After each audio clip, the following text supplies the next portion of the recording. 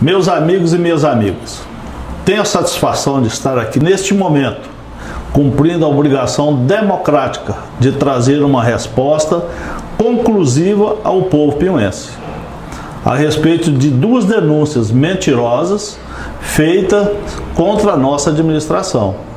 A primeira, em 2017, levantando suspeitas quanto ao uso do dinheiro público na realização do Carnaval Popular daquele ano.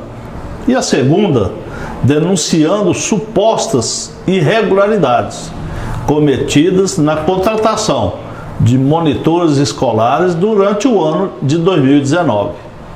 Em vista disso, tenho a satisfação de informar que ambas as denúncias acabam de ser extintas e arquivadas pelo Ministério Público Estadual em documentos datados de 30 de março de 2020. No tocante à primeira, o Ministério Público apurou que não houve o alegado fracionamento de custos na licitação, nem qualquer irregularidade na contratação das bandas que se apresentaram naquele evento, concluindo que não havia fundamento para dar sequência à investigação e determinando o seu arquivamento. Quanto à segunda denúncia, referente ao processo de seleção de monitores da Prefeitura em 2019, o Ministério Público também não encontrou indício de irregularidade, determinando o arquivamento do caso e restabelecendo a verdade.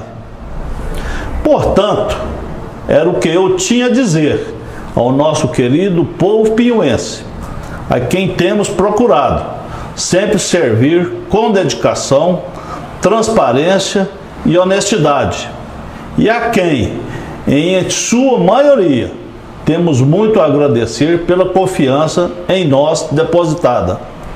Mas quero encerrar lamentando que tais coisas ainda aconteçam em nossa política, lamentando o comportamento de uns poucos irresponsáveis portadores da maledicência, que se dedicam a levantar falsas suspeitas, espalhar inverdades e acusar sem provas.